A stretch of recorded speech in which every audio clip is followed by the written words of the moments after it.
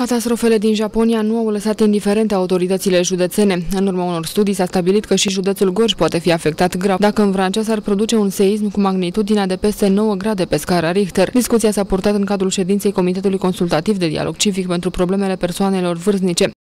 S-ar produce de 9 grade pe scara Richter, era bine simțit pe teritoriul județului Gorj cu magnitudinea de 7 grade. Pe scara Richter se măsoară energia degajată de cutremur. Vârtnicii prezenții la ședință s-au arătat interesați de starea adăposturilor existente în Târgu Jiu pentru refugiu în caz de calamități. Cetățenii să știe, bă, eu în caz de mă găsesc la stomatologie, sol.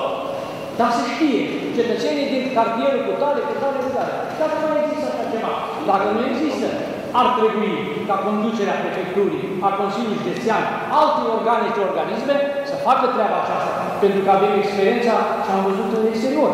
Autoritățile nu au reușit însă să-i liniștească pe oameni. Inspectorul șef al Inspectoratului pentru Situații de Urgență Gorj, Liviu Dumitrașcu, a dat asigurări că astfel de adăposturi există în Târgu Jiu, însă nu a putut să ofere prea multe detalii în acest sens. În ceea ce privește realizarea unor adăposturi noi, nici nu poate fi vorba. Adăposturi pentru populație